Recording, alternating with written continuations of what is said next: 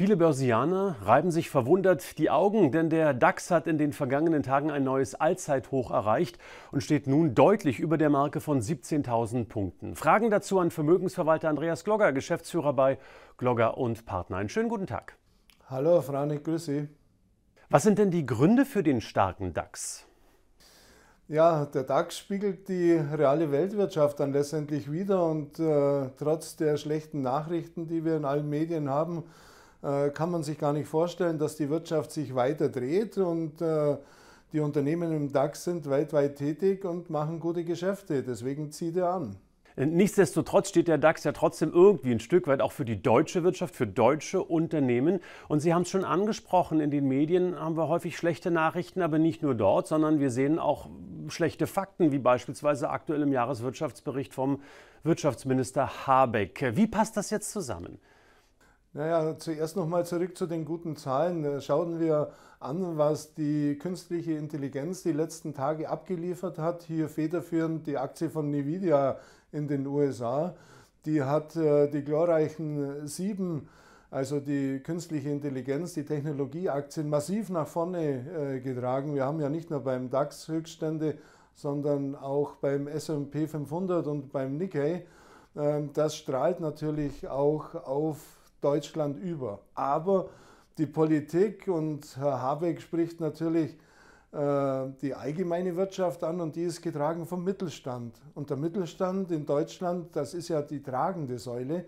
Und diese tragende Säule, die hat tatsächlich riesige Probleme äh, durch verschiedene Ereignisse in der Vergangenheit die wir ja auch schon ähm, einige Male besprochen haben, Herr Glogger. Wie kann jetzt aber die deutsche Wirtschaft ähm, aus dieser Misere, die es ja nun unzweifelhaft gibt, wieder rauskommen? Ja, die Ampelregierung, die müsste erkennen, dass äh, viele Beschlüsse und Gesetze, die sie die letzten zwei Jahre äh, erlassen hat, eben die Wirtschaft voll runtergebremst haben. Die deutsche Wirtschaft ist einfach nicht mehr wettbewerbsfähig. Äh, Stichwort Energiepreise viel zu hoch, Regulatorik viel zu hoch. Äh, man sieht klar, dass Unternehmen auch von Deutschland abwandern in Ländern, die verlässliche politische Rahmenbedingungen haben, verlässliche Energiepreise und weniger Regulierung. Also hier müsste die Politik und kann die Politik auch handeln, müsste halt erkennen, dass ihre Beschlüsse einfach falsch waren.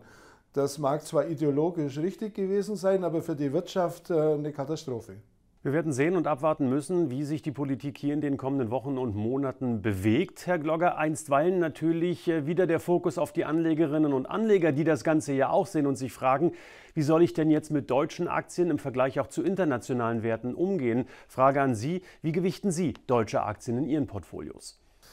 Ja, der Standort Deutschland ist bei uns untergewichtet aufgrund äh, der Rahmenbedingungen. Je nach äh, Strategie und Portfolio liegt unser Anteil an deutschen Aktien zwischen 10 und 20 Prozent, aber nicht mehr. Dann lassen Sie uns noch einen kurzen Ausblick wagen, Herr Glogger. Ähm, wird der DAX zum Jahresende höher stehen oder tiefer? Aus unserer Sicht definitiv höher. Die Weltwirtschaft dreht sich weiter.